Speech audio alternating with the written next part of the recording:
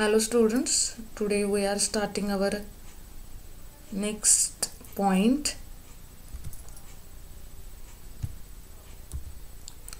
that is cell division mitosis and meiosis with their significance last पॉईंटमध्ये आपण introduction cell theory prokaryotic and eukaryotic cells काय आहे ते बघितलं cell cycle and apoptosis last लेक्चरमध्ये बघितलेलं आहे आजच्या लेक्चरमध्ये आपण मायटोसिस हा point with with their significance याच्यामध्ये आपण आज बघणार आहोत. पहिल्यांदा सेल डिव्हिजन म्हणजे काय? एखादी सेल ज्या वेळेला तयार होत असते त्याच्यापासून परत दुसऱ्या सेल तयार होण्यासाठी ती सेल काय होते? डिव्हाइड होते. आणि त्या सेल डिव्हाइड झाल्यानंतर त्यापासून नवीन दोन डॉटर सेल्स तयार होत असतात. तर त्या डॉटर सेल तयार होत असतात. त्याला आपण काय म्हणत आहे? Cell division cell division is divided into two parts that is mitosis and meiosis cell division दोन पार्टमध्ये डिवाइड होते. पहिला पार्ट आहे त्याचं नाव आहे मायटोसिस जे की आपण आज शिकणार आहोत. आणि मेओसिस आहे ते आपण नेक्स्ट लेक्चरमध्ये बघणार आहे. मायटोसिसमध्ये काय होतं? मायटोसिसमध्ये कोणकोणत्या फेजेस येतात? त्या आजच्या लेक्चरमध्ये आपण बघतो आणि मेओसिसमध्ये काय होतं? मेओसिसमध्ये कोणकोणत्या फेजेस येतात ते आपण नेक्स्ट लेक्चरमध्ये बघतोय. सेल डिव्हिजनची डेफिनेशन काय आहे बघा?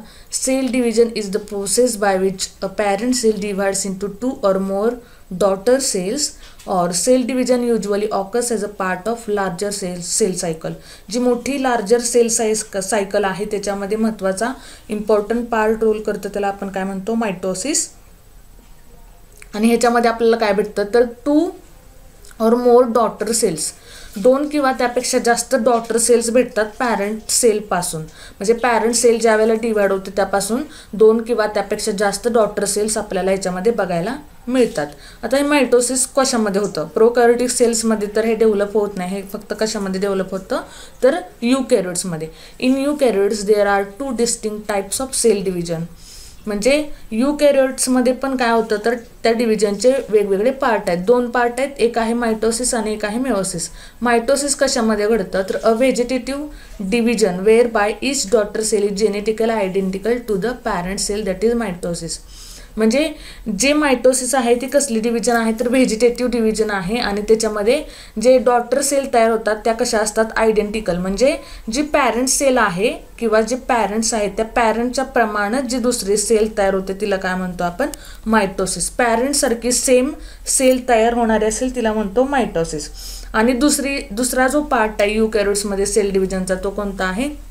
मेओसिस त्याच्यामध्ये reproductive cell division whereby the number of chromosome in the daughter cell is reduced by half to produce haploid gametes म्हणजे क्रोमोसोम जे आहे ते डॉटर सेल्समध्ये रिड्यूस होतात आणि त्याच्यामध्ये कोणते गॅमेट्स तयार होतात? तर हॅप्लॉइड गॅमेट्स हॅप्लॉइड एक सेल असणारे पण मेओसिसमध्ये त्याचं काय होतं? तर डेव्हलप होतं. मे मेओसिसमध्ये त्याचं रूपांतर होत असतं. हे झालं सेल डिव्हिजनविषयी आज आपण बघणार आहे त्याचा पार्ट तर कोणता पहिला पार्ट आहे तो आपण ह्याच्यामध्ये आज शिकतोय. With their significance uh, mitosis. In cell biology, mitosis is a part of cell cycle in which replicated chromosome are separated into two new nuclei.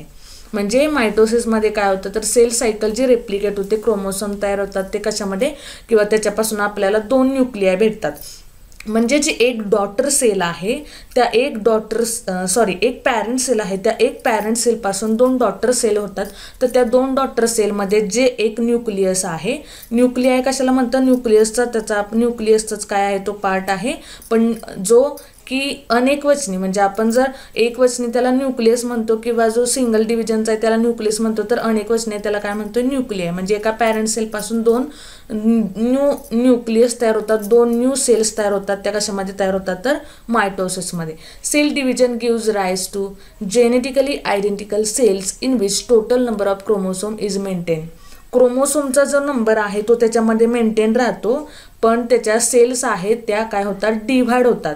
आणि त्या ज्या सेल्स डिव्हाइड होतात डॉटर सेल तयार होतात त्या कशा असतात? Genetical identical. आयडेंटिकल म्हणजे जशी पॅरेंट सेल आहे तसेच त्याच्यामध्ये तुम्हाला काय बघायला मिळतं? तर daughter sale.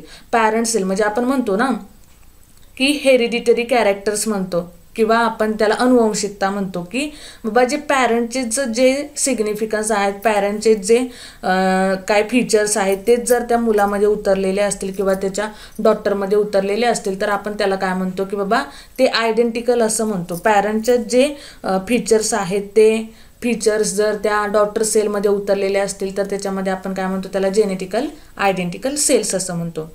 Mitosis occurs only in eukaryotic cells तुम्हाला मगाशी सांगितल्याप्रमाणे की हे घडतं कशामध्ये? तर फक्त युकॅरेटिक सेल्समध्ये प्रोकॅरेटिक सेल्समध्ये आपल्याला मायटोसिस बघायला मिळत नाही. ओव्हरऑल थोडीशी डिस्कवरी दिलेली आहे की जेणेकरून एम सी क्यूजमध्ये जर तुम्हाला क्वेश्चन विचारला तर तुम्हाला माहीत असावं. The term mitosis coined by Walther Flemming in eighteen eighty two पहिल्यांदा टर्म आपल्याला ही कोणी दिली? तर वॉल्थर फ्लेमिंग यांनी इन एटीन एटी टूमध्ये and in eighteen thirty five the German botanist Hugo von Mohl describe cell division in the green alga that is Cladophora Cladophora काय आहे? ग्रीन अल्गी आहे.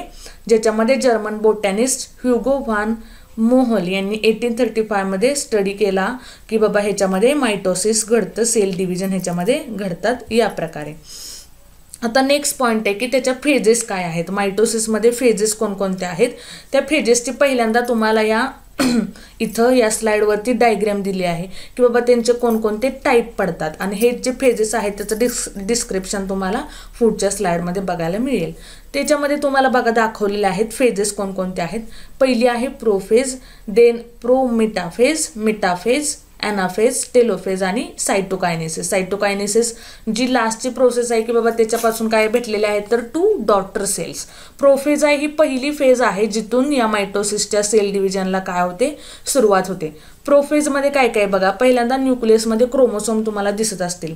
ह्याची ॲक्च्युली जी नावं आहेत ती तुम्ही नाही लिहिली तरी चालतील पण ज्या वेळेला तुम्ही डायग्राम काढत असाल एक्झाममध्ये तुम्हाला नावं त्याची ना नसेल एवढी आहेत तर नाही काढलात तरी चालेल. परंतु तुम्हाला हे समजण्यासाठी या डायग्राममध्ये त्याची नावं दिली आहेत. प्रोफेजमध्ये काय काय दिसतंय बघा. न्यूक्लियसमध्ये तुम्हाला क्रोमोसोम दिसत आहेत आणि न्यूक्लियसच्या बाहेरचा जो सायटोप्लाझमचा पार्ट आहे त्याच्यामध्ये तुम्हाला काय दिसते तर ते स्ट्रक्चर जे आहे ते तुम्हाला डेव्हलप झालेलं दिसते की डेव्हलपिंग बायपोलार स्पिंडल जे बायपोलार स्पिंडल तयार होत आहे त्याच्यामध्ये की बाबा ज्या वेळेला न्यू न्यूक्लियस तयार होणारे किंवा न्यू डॉटर सेल तयार होणार आहे तर त्याच्यामध्ये पण हे डेव्हलप व्हावं म्हणून. देन प्रोफेजच्या नंतरची जी फेज दाखवली डायग्राम दाखवली ती दाखवली प्रो मेटाफेजची ह्याच्यामध्ये पण काय दाखवलं आहे बघा? तर माई जे क्रोमोसोम आहेत. ते क्रोमोसोम एकत्र आलेले आहेत मधल्या बाजूला आणि स्पिंडल पोल दोन्ही साईडला असून ते क्रोमोसोम आहेत. त्या दोन्ही साईडच्या स्पिंडल पोलला काय काय केले गेलेले आहेत? जोडलेले आहेत. म्हणजे ॲक्च्युली इथून प्रोसेस चालू होती दोन सेल डिव्हाइड होण्याची. ओके त्याच्यानंतरची जी पुढची प्रोसेस आहे ती आहे मेटाफेज त्या मेटाफेजमध्ये तुम्ही बघू शकत असाल काय नाव दिलंय बघा. पोलार मायक्रोट्युब्युल पोलार मायक्रोट्युब्युलच्या थ्रू काय केलेलं आहे? ते न्यूक्लिअर इन्व्हेलप किंवा ते स्पिंडल पोल आहेत दोन्ही साईडचे ते जोडले गेलेले आहेत. की जेणेकरून परत ती सेल ज्यावेळेला डिव्हाइड होईल त्यावेळेला त्याचे सेम पार्ट व्हावे. सेम पार्ट व्हावे इन द सेन्स ते आयडेंटिकल सेल असावी जी पॅरेंट सेल आहे त्या पॅरेंट सेलसारखीच दुसरी जी सेल आहे ती तयार होणारी दुसरी सेल असावी. त्याच्यानंतरची प्रोसेस आहे बघा ती आहे ॲनाफेज ॲनाफेजमध्ये तुम्ही बघताय की क्रोमोसोम ॲक्च्युली काय झालेले आहे? हे सेपरेट झालेले आहेत. म्हणजे ॲक्च्युलीचे जे सुरुवातीला आपण बघितलेलं होतं प्रोफेजमध्ये तीन क्रोमोसोम होते.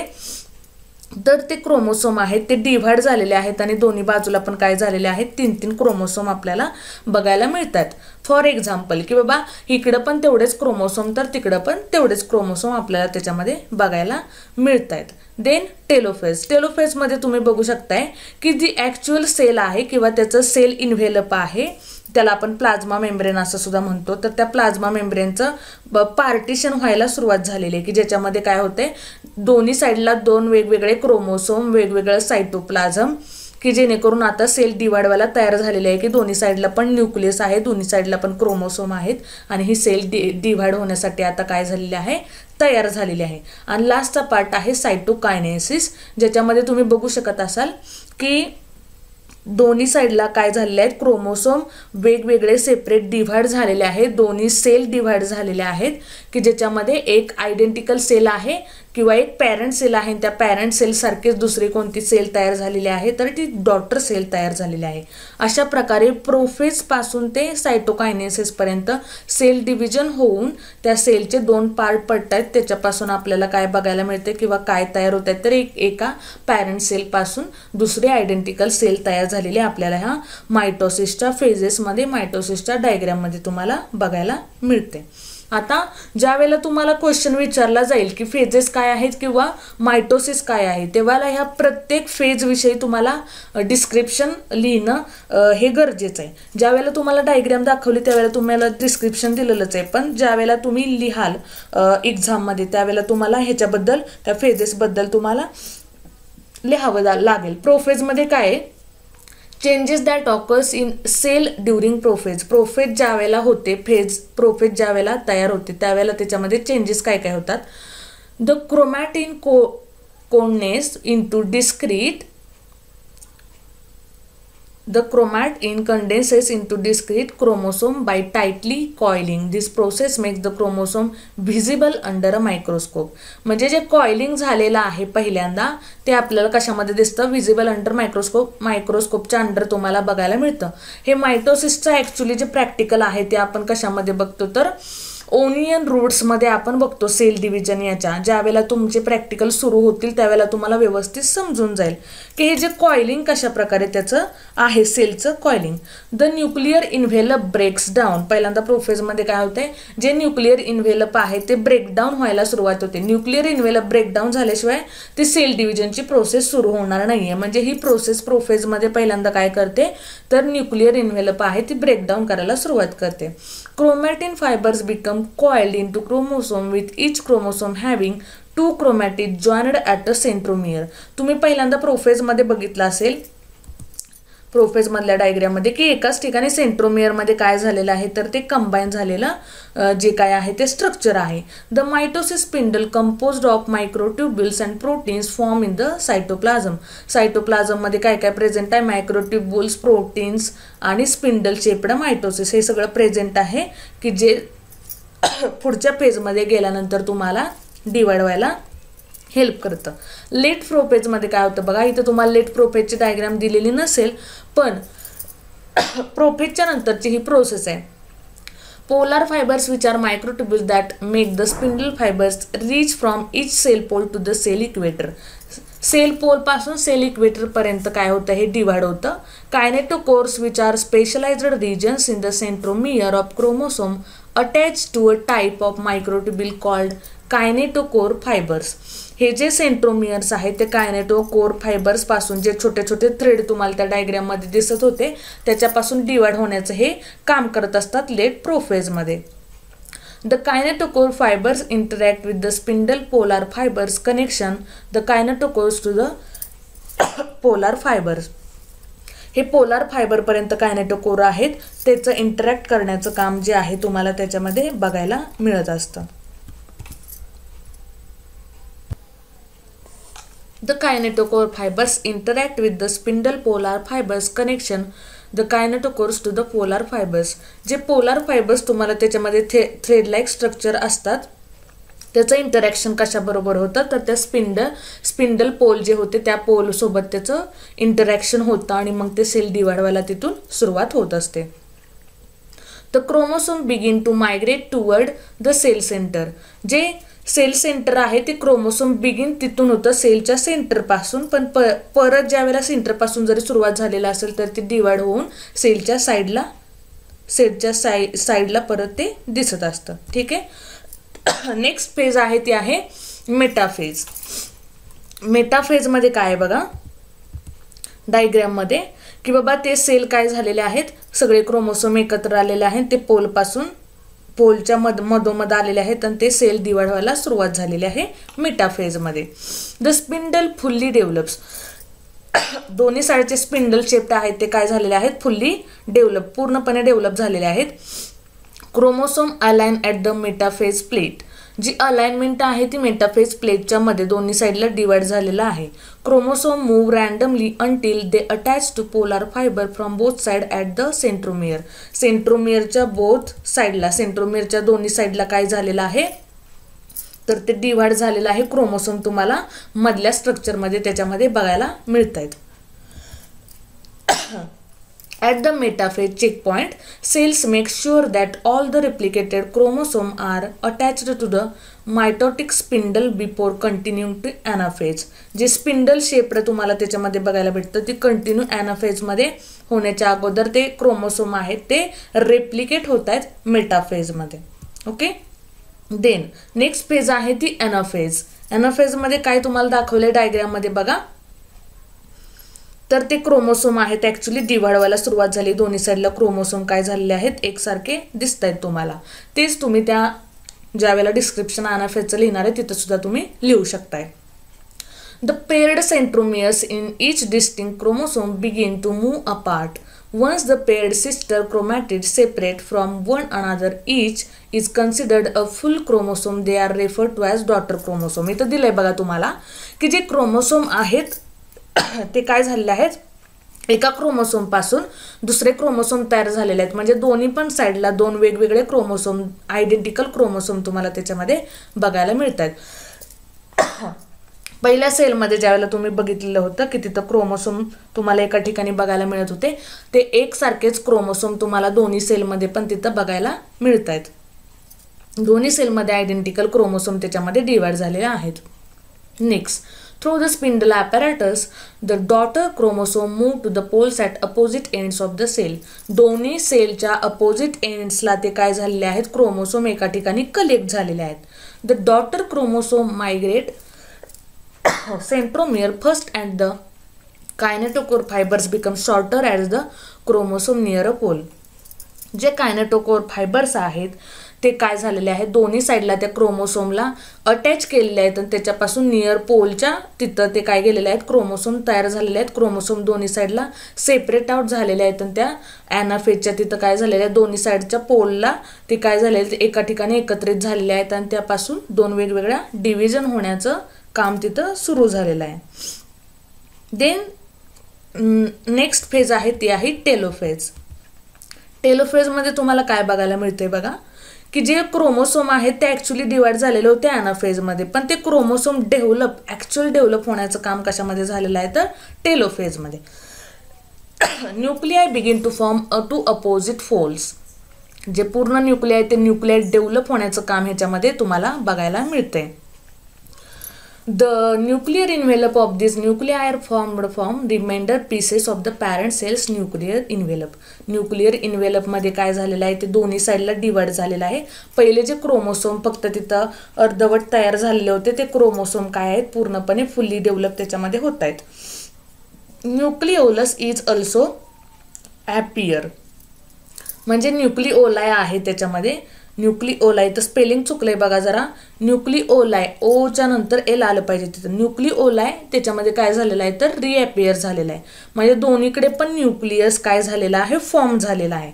पहिल्यांदा फक्त सेंट्रोमियरमध्ये एका ठिकाणी तुम्हाला न्यूक्लियस दिसत होतं प्रोफेजमध्ये ते टेलोफेजमध्ये आता तुम्हाला दोन्ही साईडला न्यूक्लिओलस काय आहे? तयार झालेलं तुम्हाला बघायला मिळते chromatin fibres of chromosome uncoil जे फायबर्स आहेत ते काय तिथं? अनकॉइल्ड झालेले आहेत क्रोमोसोमच्या इथं.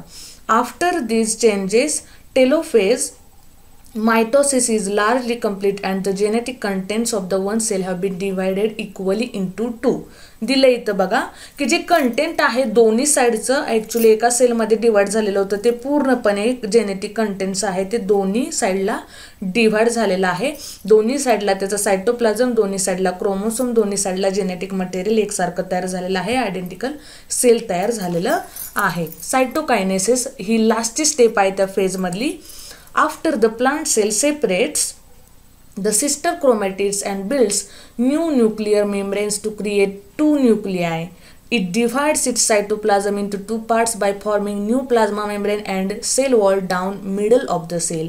इथं बघा सायटोकायनेसिसमध्ये पूर्णपणे त्या दोन्ही सेल डिव्हाइड झालेल्या आहेत पूर्णपणे त्याला सेल इन्व्हेलप वेगळं भेटलेलं आहे सेल मेम्ब्रेन वेगळी भेटलेली आहे सेल वॉल वेगळी भेटलेली आहे दोन वेगवेगळ्या सेल डिव्हाइड झालेल्या आहेत वेगवेगळ्या सेल तयार झालेल्या आहेत The cytoskeleton moves small vesicles containing cell wall material into line to the middle of the cell. जे मिडल आहे सेलची ती पूर्णपणे एकसारखी आहे. दोन्ही सेल पूर्णपणे आयडेंटिकल एकसारख्या तयार झालेल्या आहेत. दोन्हींचं जेनेटिक मटेरियल क्रोमोसोम एकसारखे बघायला मिळत आहेत लास्ट पॉईंट बघा. The vesicles fuse together bringing together the vesicle membranes and the cell wall material that was inside the vesicles the vesicle membrane for each cell the wall material joins together to form the cell plate दोन्ही साईडच्या sale plate तयार झालेल्या आहेत. एकसारखे तुम्हाला त्याच्यामध्ये बघायला मिळत आहेत the two new materials to build the primary cell wall on either side of the cell plate which is now called the middle lamella जी मधली तुम्हाला एक ज्यावेळेला डिव्हाइड झालेलं तुम्ही बघत असाल बघू शकत असाल की त्या डायग्राममध्ये तुम्हाला मिडल लॅमेला एक दिसतोय की दोन्ही सेल तयार झालेले आहेत दोन्ही सेल वेगवेगळ्या झालेल्या आहेत पण त्याच्यामध्ये एक जो पॉइंट आहे जो अटॅच झालेला आहे तो मिडल लॅमेला आहे त्याचा. इथंपर्यंत हा फेजेसचे सगळे टाईप्स आहेत जे तुम्हाला बघायला मिळाले की हे सगळे फेजेस आहेत ते मायटोसिसचे फेजेस आहेत. ला लास्ट ऑप्शन आहे सिग्निफिकन्स मायटोसिसचे सिग्निफिकन्स काय आहे त्याचा रोल काय आहे ते तुम्हाला या सिग्निफिकन्समध्ये बघायला मिळेल. Mitosis is responsible for the development of the zygote into an adult हे कशासाठी महत्त्वाचं आहे? तर झायगोटपासून एक न्यू ॲडल्ट तयार करण्यासाठी एका पॅरेंट सेलपासून दोन डॉटर सेल तयार करण्याचं काम हे मायटोसिस करतं. Equal distribution of chromosome to each daughter cell दोन्ही क्रोमोसोमचं किंवा क्रोमोसोमचं इक्वली दोन्हीकडे डिस्ट्रीब्यूट करण्याचं काम कशामध्ये होत असतं? तर मायटोसिसमध्ये होत असतं. हा त्याचा दुसरा significance next significance it is responsible for the growth and development of an individual एखाद्या ग्रो एखाद्या ऑर्गॅनिझमची लिव्हिंग ऑर्गॅनिझमची ग्रोथ होण्यासाठी डेव्हलपमेंट होण्यासाठी हे काय करतं? रोल त्याच्यामध्ये प्ले करतं.